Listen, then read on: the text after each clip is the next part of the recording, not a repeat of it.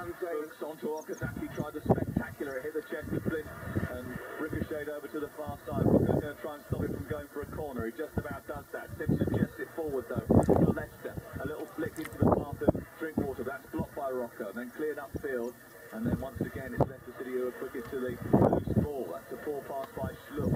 Schlupp trying to wrap around. Carrick gives away a free kick and Manchester United have the ball. And the Manchester United fans aren't entirely happy that there's going to be a change very shortly. And it is going to be Demarai Gray.